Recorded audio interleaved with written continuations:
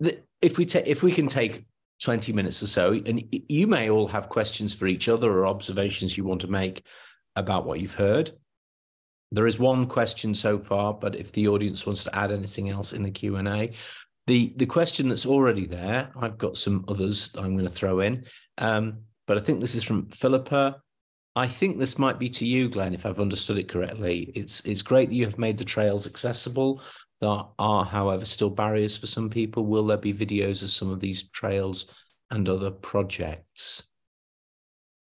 Yeah, I think over, time we will um, look to um, for the other projects to to take a similar sort of route, both from a, a kind of a, an access point of view, um, but also from kind of sharing that and documenting it, and you know, getting that message out as widely as possible. Um, I think on on access we do there is a there is a kind of a natural tension between areas of high ecology and people. They don't always go terribly well together, and particularly where you've got kind of ground nesting birds and things like that. So we do have to make sure that the access is in the right place um, and that people are kind of respecting um, you know the the environment they're in. But there's ways, there's kind of subtle ways of doing that.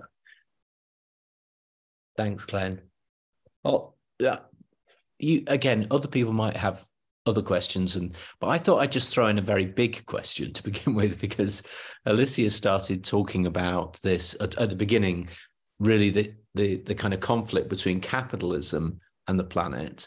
One one of the things I thought was very interesting about the talks, in a way, was we had a, a little bit like maybe capitalism isn't right the right word, but there was a little bit of like good capitalism and bad capitalism in those talks.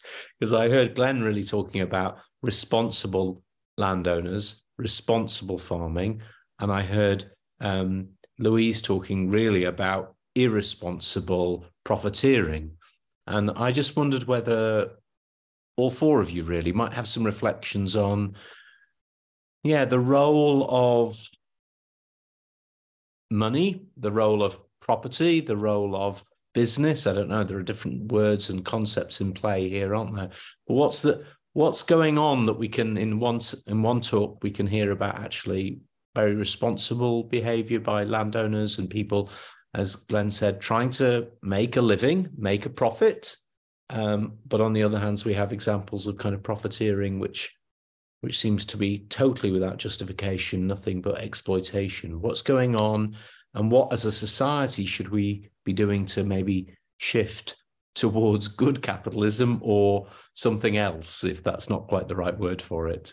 Any, any and I, I don't know. I've thrown that such a big question in there, but if any, yes, Rebecca, take it on, please. I think, I think it's quite a, a lot to take on. Thirty percent rewilding Britain um, and capitalism, but um, but I, have got a few reflections. I think there um, are some dynamics um, in terms of um, well, financing of nature-based solutions, for instance, that include rewilding, um, carbon credits, biodiversity credits, that could be could potentially be a force for good, but could also uh, not be, as in fund, uh, uh, you know, uh, be counterproductive. Um, so one of the things that we're looking at is um, for the, you know, for those that are wanting to rewild, um, what what is out there in terms of funding and financing, uh, and how can they access it? But also for those that are providing the finances, financing, what standards should they be working to to ensure that both they actually achieve rewilding. Uh, you know, there's a lot of examples where people are accessing funding and are just planting, you know, planting trees in inappropriate places and not achieving biodiversity gains and claiming carbon credits, for instance. There are lots of examples where, um, you know, in, in essence, those who already have capital and land are able to access those uh, sources of funding and financing, but local communities or community-owned land or you know clusters of uh, landowners, for instance, find it really difficult to access. So I think we'd like to see um, just as as much as there's a sort of spectrum of rewilding ecologically from those sort of remoter, wilder areas where you might have, you know, top predators and a mixture of herbivores and um, you, much like some of the national parks that you see in, in the States, for instance. Um, I think there's also a, a, sort of spectrum of kind of community involvement and participation and governance of, of rewilding. So you might, uh, uh you know, it's not to say that those who to own la- large amounts of land can't make a really valuable contribution, but we'd like to see it much more possible for um, community-led projects or common land or um, clusters of landowners, um, smaller landowners be able to access the support and financing and funding that is available. And we'd like we'd like to see kind of nature-based enterprise zones so that you know we can start to see much more locally orientated enterprises linked to rewilding and nature's restoration um, that supports local communities and helps sustain them. Um, so I'm not sure um, I'm quite up for tackling rewilding and capitalism, but I think there are, um, you know, elements of that that we'd like to see um, happen. Much more community-led, locally, local decision making, um, and much more considered support for those types of approaches. Thanks, Rebecca. Who, any, yeah, Louise. Have a go too. I think yeah, you're you're right, Rebecca, in that the power is feels very much in in communities to make sure that it's kind of well managed, and I think that's what Glenn was talking about as well. Is like is making sure that communities who really care about that area and and want to invest in that area and support it and and see it as well as making profit also being able to kind of they really care about the landscape itself and making sure that it's going well i think as you were saying um, in terms of what what i do um, we do see a really dirty side of, of capitalism but but in terms of as well it's just useful to point out. So, water companies are currently a monopoly, um, a very poorly regulated monopoly. Um, and so, it's kind of the worst end of the capital spectrum in terms of um, it's not managed in the way that capitalism is kind of supposed to be managed, even in itself. So, it's particularly poor um, example of what's going on because um, we've got these individual bodies that are responsible and have been given infrastructure that they don't necessarily feel like they have to take ownership. They're the shareholders who own them aren't really very involved. A lot of the shareholder, like over 60% of shareholders of water companies across the um, the UK are, are not from the UK because it's such a profitable thing to be invested in and quite a stable thing to be invested in because at the moment there's very poor regulation on what's taken out of the system um, and what's actually reinvested and, and what the responsibility of the water companies are to kind of protect our waterways and that kind of thing. So I think it's the reason it's such an example of the way capitalism is so poor is that monopoly based system which is which is kind of a, a rarer thing than than I guess um, is is not the same as what Glenn and and Rebecca are talking about in terms of or particularly what Glenn's working on. Um, and so that's why it's such a problem in what we're up to. Thanks Louise Glenn? What, what, why, why you, oh, Alicia wants to come in. We'll let Alicia come in, and then okay. then you can then you can look at it from your perspective. Okay. Alicia, what did you want to say? Your microphone's off. You...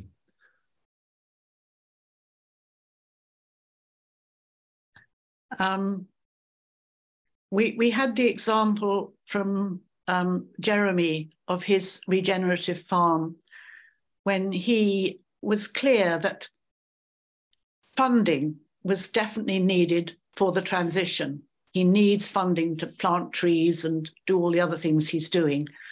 But he feels that once his farm is uh, working properly and he's managed to reduce um, even more the, the use of fertilizers and I don't think he uses fertilizers. He uses some pesticides still, but he's been reducing them.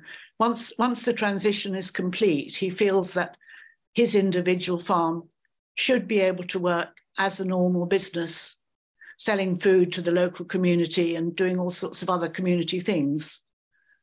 So, in that level, um, capitalism can exist. Um, but long term funding is needed for the to redress the state we've got in. But I think an- another way of looking at it is that um, capitalism just has failed the planet.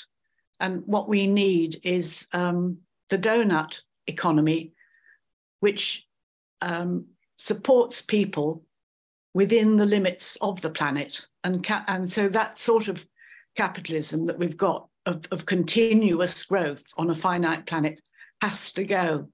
Um, the trouble is, we've got to get there using the present um, capitalist system.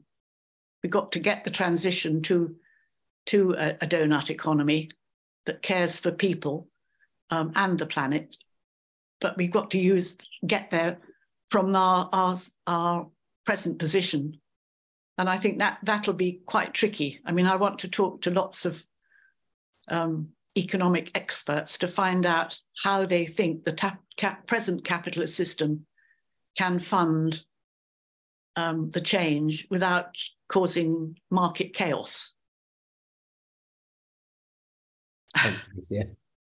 Glenn, there's not a lot of pressure on you here. Just mm, well, I don't, I don't disagree with um, much of what Alicia has said actually, and I think you know I've used the, the word pragmatism quite a few times, but um, it's kind of perverse that the the mechanisms that have caused the the mess and the and the problems with the planet and biodiversity and everything else are the same mechanisms that we're now turning to to redress that. Um, but we we understand that uh, you know I think Alicia summed it up quite well. We need to use some of those tools within that capital, capitalist society to try and pump prime the whole process of of returning kind of nature back to the landscape. And it's it's quite shocking that within the UK, you know, our, our biodiversity indices are, are so poor for a you know a relatively modern and and kind of well, you know, secure um, society and economy. I think the the game changer that we're starting to see is that um, there's a there's a realization against uh, sorry there's a realization amongst um, a lot of those um, big sort of corporate entities that actually natural capital is is is their lifeblood. And i think governments understand that now as well. And that's been the big shift within the last maybe the last decade but certainly within the last few years that actually natural capital being all of the things that nature gives us for free and 50% of all of the world's economy, something like $44 trillion, are highly dependent on those natural processes.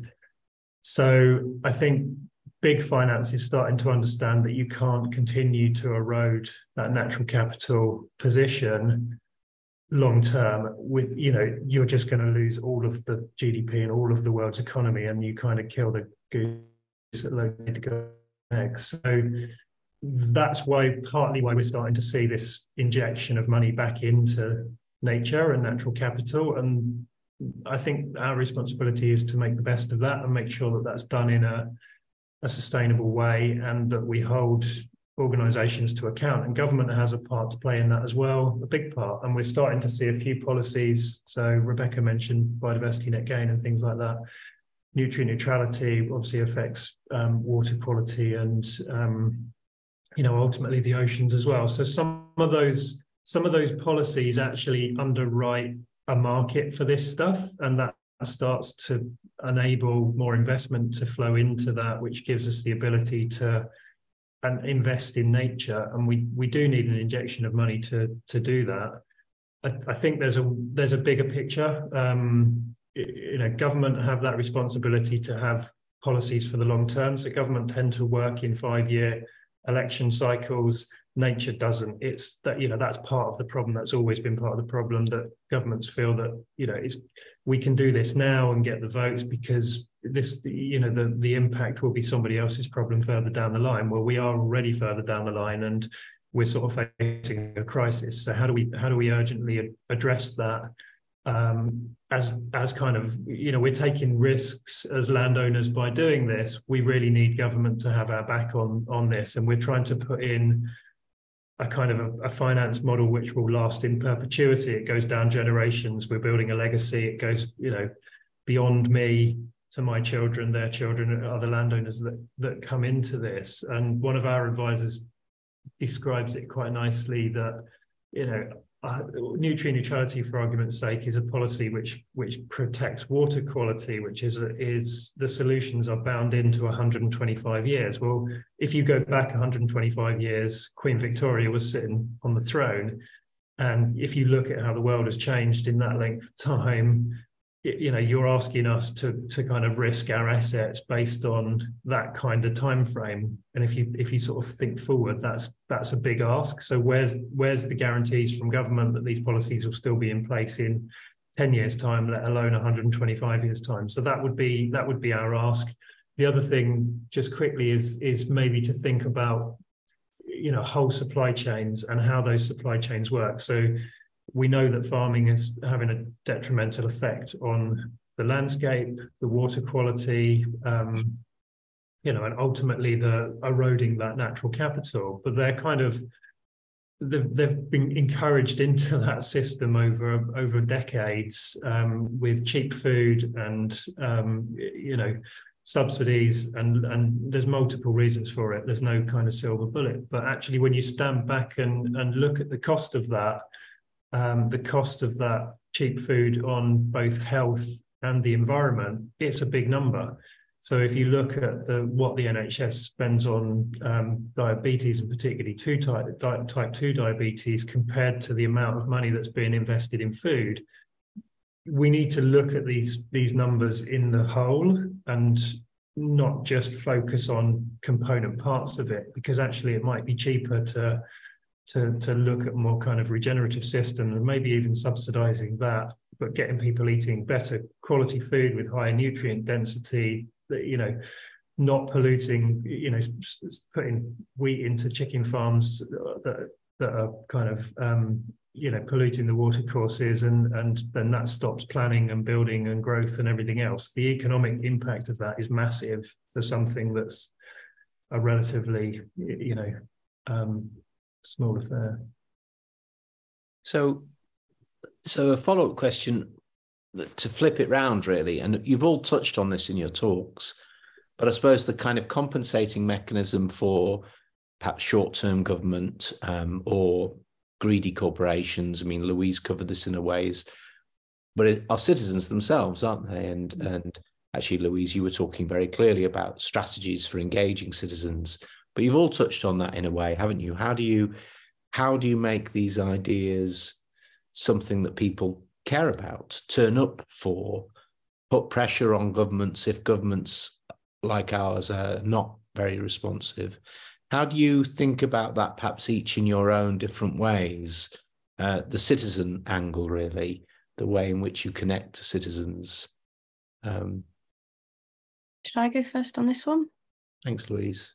Yeah, well, I guess that is who we are and, and what we do and what we do really well is making sure that we're engaging people through the whole process and the whole conversation on what's going on and listening to people as well and making sure that we're hearing what people have got to say in terms of what they're experiencing what they're seeing and and finding that to be honest, the people who are looking at what's going on on the ground are actually the people, the public particularly, the ones who really know the best of what's going on and, and can provide some really good solutions.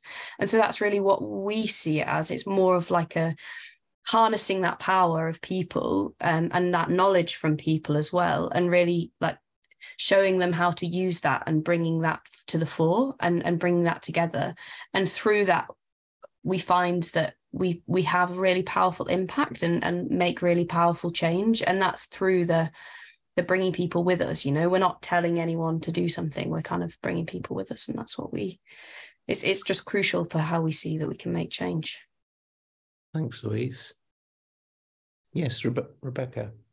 Um i mean i think it's a really good question. And um, my background i worked in overseas development for 10 years in in mexico uganda and the pacific. And what surprised me when I came back to the UK is how little, I mean, participatory decision making is just part of the way community development is done overseas and has been for 30 years, um, including kind of catchment partnerships, planning at a river catchment level, and um, watershed management and and uh, that just hasn't translated back into the UK. I mean, I worked for a while for Oxford City Council in their communities and neighbourhoods team, and um, and and I'd ideally like to see a national conversation about what we're asking of the land, citizens' assemblies, for instance. In fact, they have done one recently called the People's Plan for Nature, um, um, involving you know people more broadly, and then establish a sort of national land use framework, which they are aiming to do. But um, again, to, to address that issue, what and I'd like to see rewilding just mainstreamed within that. Um, um, but that then should be translated down to the local level, so people feel much more engaged uh, in developing plans for how, at the local level, they're going to um, kind of uh, decide how the land should be used and what should be prioritised, um, so that people again feel that they have more of a say. Uh, I'd like to see much more community ownership of land or community involvement in land. I'd like to see um, Scotland's community right to buy um, uh, brought into England and Wales. I'd, I'd, I'd, actually like to see a lot more kind of, I don't know if you want to call it nationalisation of land, but a sort of national land fund so that if land comes up for sale, that um, it, it, could be bought for the nation and that we could gen- genuinely have national parks um, where people can still live and thrive and um, communities can be sustained. But I think we need to start to, you know, the urgency of the change that is needed requires um, kind of big visions and um, big changes, I suppose, a, a, a, just transition. Thank you. Licia, Glenn, Licia? Oh, sorry, go on, um, go, go on, Glenn.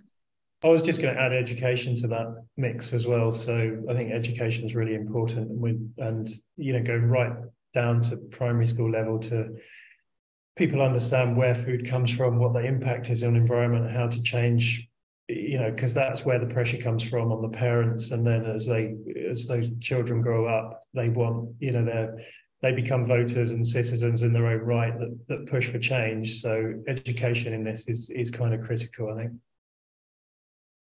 I would completely agree with that. I've got a daughter who's the final year of primary, and she, they've spent the whole year cramming them for SATs. um, at a school when they've got a lovely, kind of quite wild area with a river running through it. They're not they're not doing forest school. They're doing SATs cramming, and you just think, what's the point of it? Mm-hmm. I was going to ask Louise a question, actually, if that's okay, in the few minutes that we've got left. I mean, I'd love to hear because I think that there's a huge overlap in in what we do in the sense that I mean, a lot of, I mean, as Glenn has also said, a lot of the pollution that's going into our rivers is from intensive agriculture, in addition to sewage. And I know your Surfers against sewage, so that you know. But I, I was wondering um, what emphasis you place on that, or what plans you have to try and address that type of pollution going into our rivers. So, you know, the River Wye, for instance, is far chicken farms a far bigger issue than sewage, for instance, and similarly agricultural runoff and dairy farms. Um, is is that something that you're working on? I would say it's a bit of a yes and a no. I think we're, um, I guess, partly what we're trying to do is make sure that we're sparking this conversation about the quality of water that we have across the UK and explain the reasons that we're in this position, which is also reflected within the sewage industry is also really big within the agricultural industry right? We've got like really poor regulation particularly in terms of how land is used um in terms of particularly runoff and all that kind of thing. We know there's there's huge problems with um the way land's managed to stop that um and like it's really cool to hear Glenn talking about that as well. Um but I think in terms of what we're actually doing um we're i think it's also what you're talking about rebecca in terms of like nature-based solutions. We're seeing the problem of sewage and agricultural runoff as kind of one and the same in terms of our the way our land is is hugely um like we've got really uncomplex ecosystems that can't manage the the water that they're that the rain that they're seeing and the flooding and that kind of thing. And then also um so i guess we're partly just talking about nature-based solutions to this problem. So a big thing that we're pushing for is trying to um, provide land that is actually absorbing water better and, and reducing the amount of runoff that we're seeing that goes into sewage systems, but also that's actually just runoff from agricultural systems as well. And so we're trying to have that conversation. But I guess I agree with you in terms of agriculture is a huge problem and, and it's something that we're constantly thinking about, but we are kind of trying to make our part of the puzzle work well. Um, and really, particularly because we know that there's only 12 water companies across the UK, really focusing on those 12 that we see we can have a really big impact. And then hopefully we'll solve that and maybe we'll really focus on pushing um, lots of different farmers and, and the kind of more complex system that's going on there. I think that's really where we're seeing see ourselves in that problem. If that answers yep. it. Probably not the perfect answer, what you wanted to hear, but no, it's it's and it's realistic. It's like trying to tackle rewilding and capitalism at the same time. You've got to kind of and focus on what you can do well. Oh, just you might be interested in a project actually that's starting here in Sheffield, uh, which is uh, creating a legal personhood for the River Don.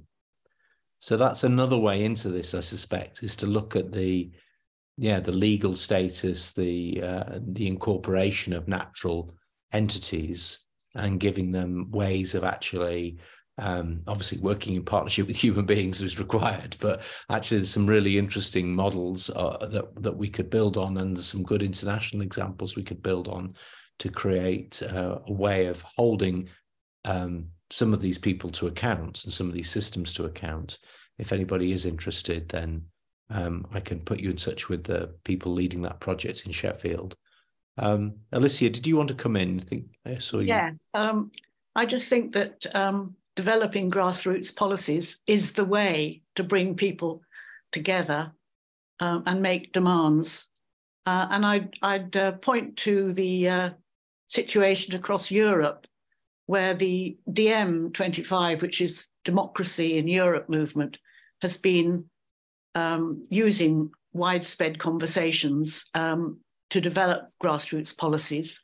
And there, a Green New Deal for Europe um, has, has um, got to the basis of making sure people are informed, um, people, and that um, funding comes from local communities. And those sorts of big changes are, are, what would make a huge difference here and help grassroots things to um, have the power for action. So I, I think grassroots policies are a very, very good way of, of um, giving us power, giving people the power they need.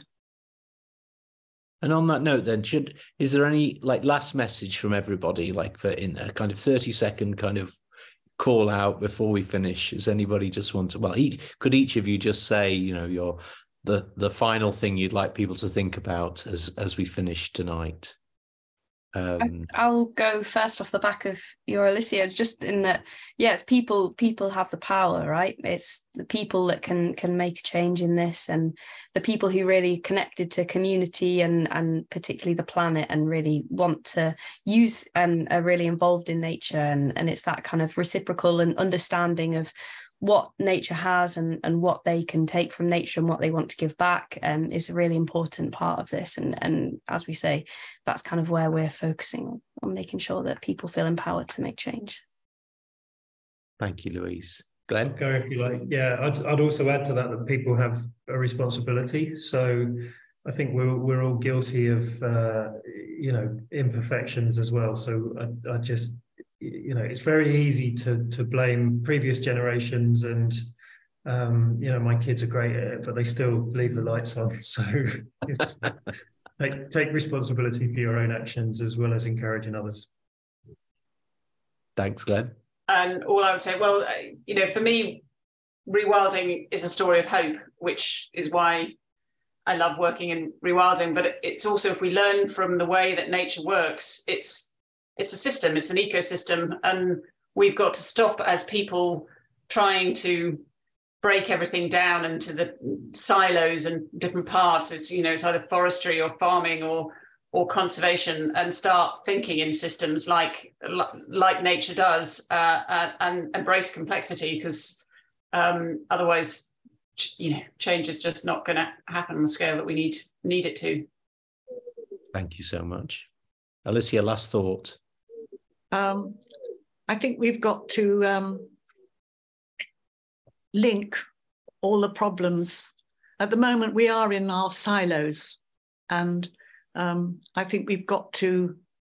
Um, people feel helpless, which is why they don't get involved. They think they can't change. But if we join together, realizing um, that social ills and and environmental damage are the same, come from the same root, and then we, if we um, work together, I'm sure we can uh, get there.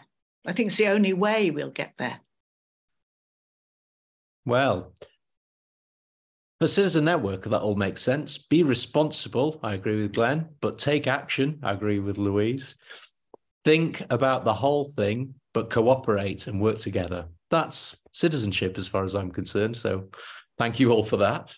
And thank you for giving up a little bit of your evening, for helping us educate others. I've certainly learned tons from all of this, and we'll do our best to get the message out and we'll carry on working with Alicia to say stay connected to citizen network if you can if it's of interest we we host loads of materials on our website we share lots of things through our newsletter and social media and we're interested in anything we can do to help create a better world and to create a world where everyone matters and everything matters so thanks everyone good night enjoy Thank your tea you. if you've not had Bye. it yet.